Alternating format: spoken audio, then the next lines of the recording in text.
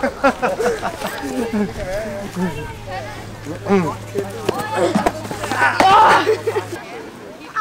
ligesom trække helt, helt tilbage hertil. Er du klar? Er du klar? Helt tilbage i armen. Op i luften.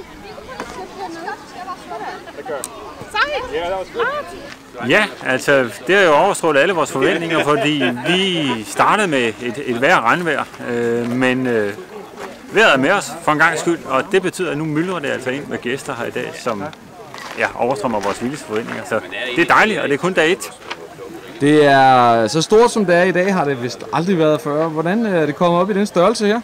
Ved, at vi har en meget, meget dygtig publikums- og arrangementansvarlig, der har sørget for at få hidkaldt så mange vikinger som overhovedet muligt.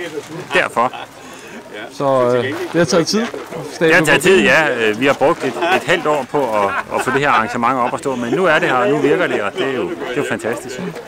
Der er, noget, der er mange nye ting i dag. Kan du fortælle lidt om nogle af af de ting, der er her? Jamen, der er jo alt muligt. Lige fra man kan som en viking var. Der er en vikingelejr fra 820'erne, øh, hvor man kan gå ind og møde vikinger, som de var. Og derinde der er der en masse forskellige aktiviteter, våben, der bliver vist frem, klimabrydning og alt muligt andet. Og så uden for lejren, der har vi så sådan lidt mere moderne aktiviteter. Man kan prøve en metaldetektor for eksempel. Man kan få noget at vide om den forskning, som museet er i gang med. Og her uden for selve vikingbyen, der kan man så også gøre en masse gode indkøb. Alt lige fra øl nød til alle mulige andre spændende kunsthåndværk.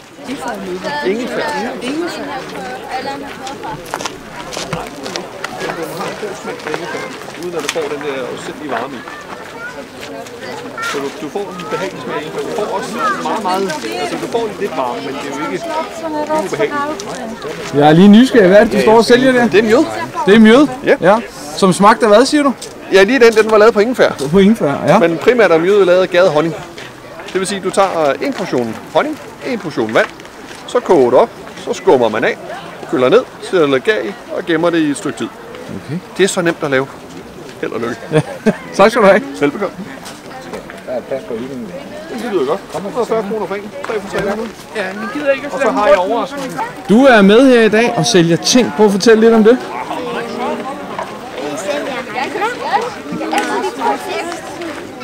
Ja, det du står med der, Gaia, hvad... Det er godt nok en flot fisk. Hvor lang tid har den taget at lave? Nå, ikke mere end en halv time? Nej. Hvad er det sjoveste ved at være med i dag? Det er nok, at øh, jeg har også en ven, som der er på besøg. Hun hedder Ja. Cecilia. Okay.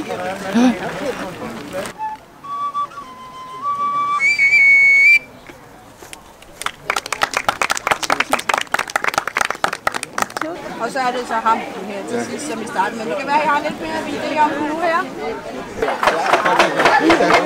Ja, men jeg er jo i lærer. Jamen, det er derfor, jeg siger ud af.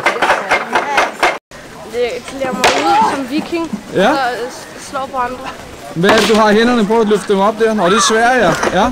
Nogle handsker. Skal du banke nogen med dem? Ej, for min lillebror er lige skrevet. Nå, okay. Så du har banket nogen med dem? Ja.